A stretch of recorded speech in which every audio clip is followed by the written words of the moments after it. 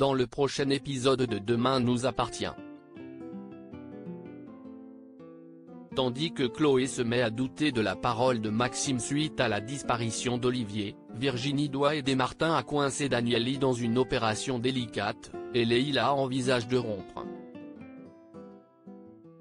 Capture d'écran TF1 Attention, les paragraphes qui suivent contiennent des spoilers sur l'épisode de Demain nous appartient diffusé vendredi soir sur TF1. Si vous ne voulez rien savoir, passez votre chemin.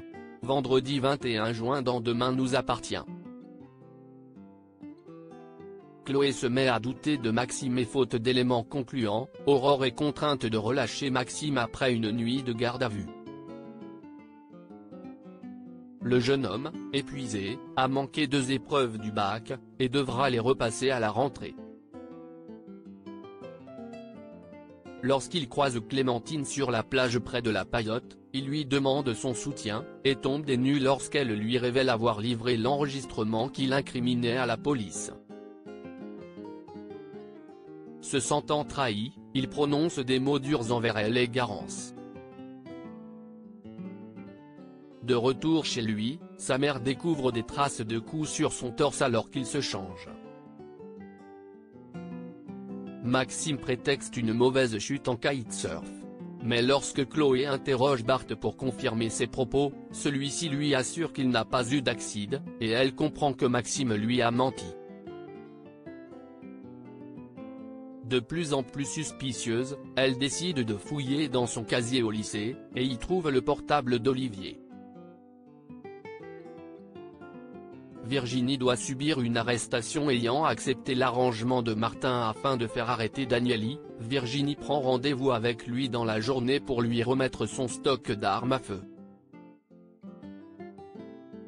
Elle insiste auprès de Jules pour qu'il s'éloigne de leur maison, en l'incitant à aller s'amuser avec des amis. Jules comprend que sa mère a parlé à la police et lui demande d'être prudente. Plus tard, lorsque Virginie fait face à Danieli pour le remettre le sac d'armes, Martin et son équipe les prennent en flagrant délit. Il menotte Virginie sans ménagement, avant de s'excuser quelques heures plus tard au commissariat. Il fallait que son arrestation soit crédible pour ne pas éveiller les soupçons de Danieli. Mais lorsque Martin lui propose de prendre un verre avec elle à l'issue de leur entretien, Virginie se braque, interprétant cette proposition comme du chantage en échange de la protection de témoins.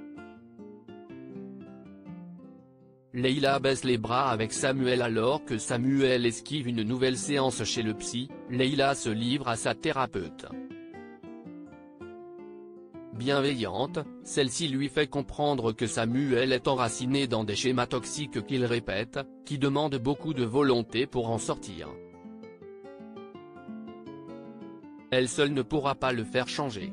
Leila en vient à penser que la rupture est la seule solution pour ne plus souffrir de la situation. De son côté, William tente de secouer son ami, s'il perd Leila, il risque de finir ses jours seul. Désespéré, Samuel tente de se racheter auprès d'elle, lui promet de changer, et lui propose qu'ils emménagent ensemble.